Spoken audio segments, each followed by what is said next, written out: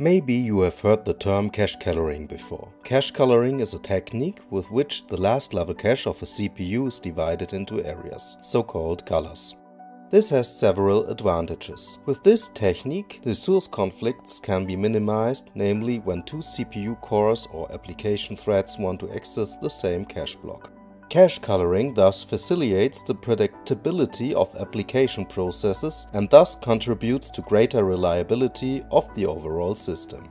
In addition, the system as a whole can benefit from the separation of memory areas in terms of performance and parallelism. They can be improved because with good planning, processes rarely have to wait for resources to become free.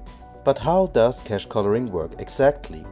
Modern multi-core processors have multiple caches. CPU cores share the last level cache. With cache coloring, this last level cache is now divided up and reserved from the outset. The individual threads and thread groups only access cache lines that repeat at the same interval each time, which when bundled together by the memory management unit result in a new page. The cache lines have a common address base and are all found on a page created and therefore colored by the MMU. Cache coloring is therefore also called page coloring.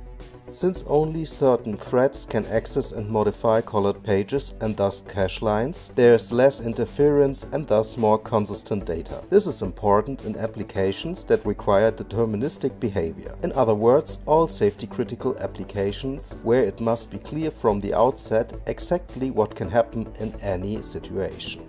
PikeOS offers the possibility to use cache coloring for the ARM v8 architecture to guarantee the highest level of deterministic behavior. This gives customers the ability to build their safety-critical applications even more safely and securely.